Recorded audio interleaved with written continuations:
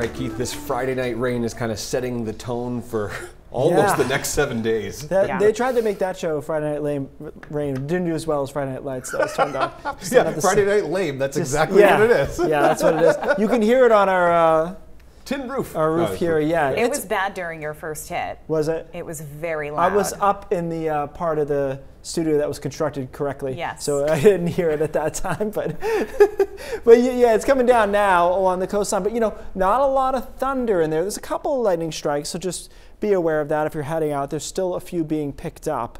Most of the action today there has been in the mountains and foothills, and still is. And look at this towards Bangor. That's some really heavy stuff up there uh, over to Bar Harbor as well. But most of the heavier stuff along the coast has died out, and we're seeing a second round here into the mountains. This Kingfield, Carrabassett Valley going down into Farmington too. They've seen several rounds and uh, quite a bit of small hail. I've got a lot of pictures. None of the hail was substantial, little stuff, but uh, pinging around out there as the cloud tops were just high enough for that. Backdoor cold front coming through, has already come through across northern Maine. Temperatures go down and the rain comes offshore here over the next few hours.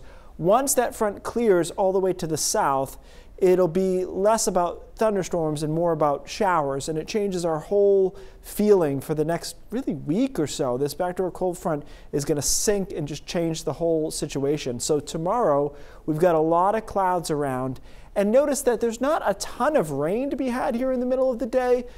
But there's not a lot of sun to be had either. Maybe northern Aroostook County, but the rest of us socked in low level clouds uh, and a couple of sprinkles around. And then in the afternoon, we pulse a couple more showers up. But again, not a lot of total rain. Look at these temperatures though upper 40s, low 50s.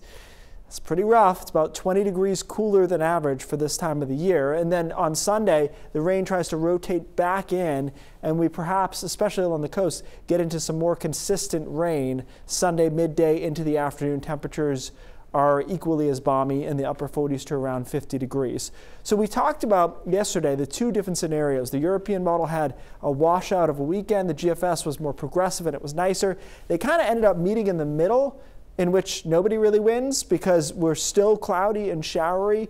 We really would be better off with the GFS solution, but it just isn't going to happen. It looks like it'll be in the middle there with clouds and showers. So look at this low, and you don't need to know a ton about weather, which is great because I don't either. To know that the rain just keeps on coming. Look at this Sunday, Monday, Tuesday, Wednesday. So it's not raining the whole time, right? But there's a lot of green on that map which is not really what you want to see. So total rainfall amounts, the European model thinks two to three inches, but it'll take all week to get there, guys. So I don't think we'll have any flooding concerns. It'll just it'll just be dreary. And it's it's you know a couple of peaks of sun in there. Maybe I put one in Monday, in Wednesday, in Thursday morning just to uh, create some hope there. Um, I think there will be a few breaks, but I just think overall it's quite unsettled this week, and it takes until late in the week to break out of it. Maybe we can get in better shape for kind of next weekend. That's that's really what we're looking at this point. You know. Yeah. You know, with the dry and windy conditions we had had for a little while, I know there was some concern about fire danger, so Right. maybe this is coming at the right time. Yeah, well, certainly for our Canadian neighbors, this will be Yeah. this will be good news, and we'll, we'll get on the other side of it eventually.